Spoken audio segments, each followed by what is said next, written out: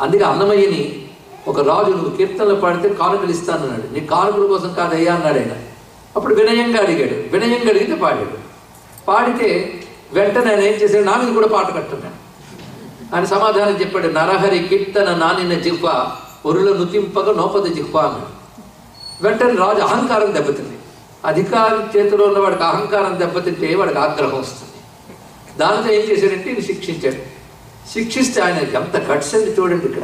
నువ్వు నాకు ఇచ్చేది ఏమిటి ఐశ్వర్యం? పుట్టుభోగులము మేము. భువి హరిదాసులము. నట్ట నడిమి దొరలు నాకియ్యవలెనా అన్నాడు ఎంత ధైర్యంగా చెప్పాడు. నువ్వు పుట్టుకతోనే భోగులు. ఎందువల్లంటే మా అమ్మ లక్ష్మీదేవి మా నాన్న నారాయణుడు అన్నాడు అది భక్తి. అంత దృఢమైన భక్తి ఉంది. బంధించాడు. ఆయన ఉపాసనా బలం చేత బంధనం కూడా విడిపోయింది.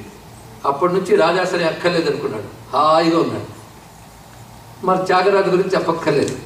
ఇంటికి వచ్చిన ఐశ్వర్యాన్ని కూడా పక్కకు తోసాడు మన దృష్టిలో ఆయన దరిద్రంగా బతికాడు కానీ ఆయన దృష్టిలో ఆయన సంపత్తితో బ్రతికాడు. ఆనందంగా బ్రతికాడు. ఆనందంగా తృప్తిగా బ్రతికడం అల్టిమేట్ అండి. ఆనందం తృప్తి ఫలానా వస్తువు వల్ల వస్తుంది అని నువ్వు భావించి వస్తువుని అడుగుతున్నావు. కానీ డైరెక్ట్గా ఆనందం తృప్తి అడగండి భగవంతుడు. ఆ తృప్తి అనే భావం ఆనందం అనే భావం ఒక వస్తువు వల్ల వస్తుందని భ్రాంతి. అదే వస్తువు ఉన్నవాడికి ఆ రెండూ లేకపోవడం తెలుసు మీకు కానీ వస్తువుని అడుగుతున్నాం కానీ ఏకంగా దాని వల్ల వచ్చే అనుభూతిని అంటాం ఆ అనుభూతి భగవత్ కరుణ. అది తప్పకుండా లభిస్తుంది. అందుకే లక్ష్మికి ఎప్పుడు ఇష్టం ఏంటయ్యా అంటే నారాయణ సమేతంగా ఆరాధించడం ఇష్టం. మళ్ళీ శివశక్తులాగా సామరస్యం చేసేస్తాం. అది లక్ష్మీనారాయణం